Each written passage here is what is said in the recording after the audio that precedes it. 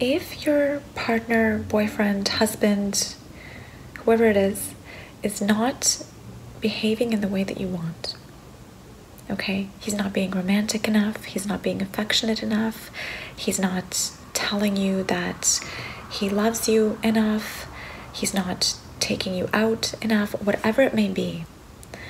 If he's not doing enough of something, it's most likely because you have not communicated your needs to him in a way that he can understand.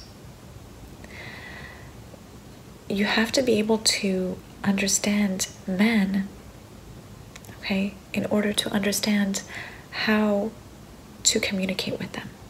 This is a very, very important skill to have in a relationship. So, if you want to tell your man, if you want him to do more of something, you have to tell him directly. Okay, that's the number one thing. What most women do is they hint. They hint that they want to go out to a nice restaurant. They hint that they want him to give them more compliments. Whatever it is, they drop hints left, right, and center, but they never tell him directly. Why? If you want your man to know or to do something, you have to tell him directly because men do not understand, they don't understand these subtle intricate, you know, messages that you're giving him. They he doesn't understand that. Some some men maybe if they know you well enough, but in general most do not. So you have to tell them directly. You have to tell them what what you want. You have to show them also. You have to show them with your emotion. That's another thing. And how do you do that? if he gets you flowers, you know, it's your birthday or it's some special occasion and he gets you flowers and you love getting flowers. So I love getting flowers. So every time, you know, my partner gets me flowers, I show him, I tell him how much I love that, how beautiful they are. I show him my excitement and I tell him I love getting these flowers from you.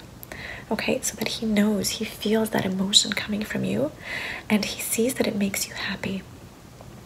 And the man that cares about you and your relationship assuming he does he's going to he's going to get the message. Okay it's going to be obvious to him that you love getting flowers okay and he will do it again next time right that's how men work it has to be obvious to them so you either have to tell them you know, come out directly and tell them what you want. You know, can you, I love it when you compliment me.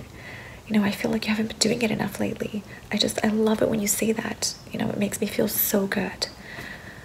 Say that to him, okay? Tell him that it makes you feel great, it makes you feel beautiful, whatever it is, it makes you feel special. Okay, tell him that.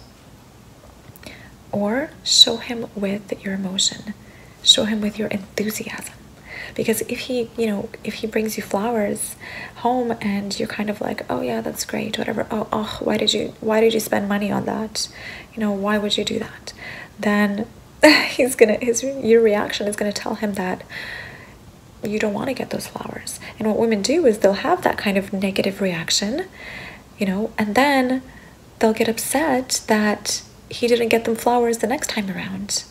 And it's like, well, of course he didn't, because you didn't show him, you didn't demonstrate it, make it clear to him that you liked that gesture, that it made you happy. So you have to be obvious with men, right? That's that's one of the most important things when it comes to understanding them. Is women are subtle, men are not subtle. Men need to know straight up. You have to tell them straight out, up front, what it is that you want, what it is that you like, and that is how they will understand you, that is how they will do more of what you want.